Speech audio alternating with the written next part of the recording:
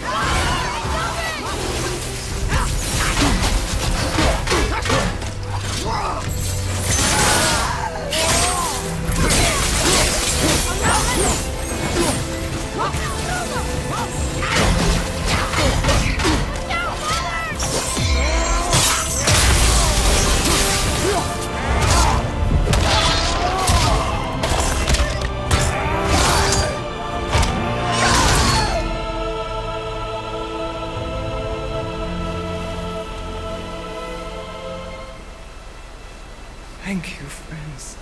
You have saved the Valkyries. Sigrun, how did this happen?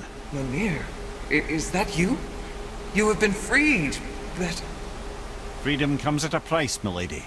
you speak truly. Countless winters we serve the Allfather.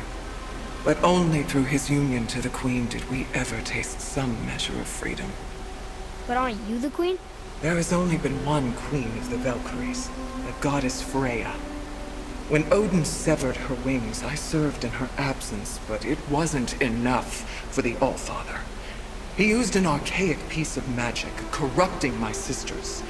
I tried to contain the damage by imprisoning them in places where they could cause no harm, but soon I lost myself as well. Sigrun, I'm sorry for being so worthless. I could have done something, or tried at the very least. What will you do now? I must reunite with my sisters. Together we can restore balance to the realms. You have the eternal blessings of the Valkyries.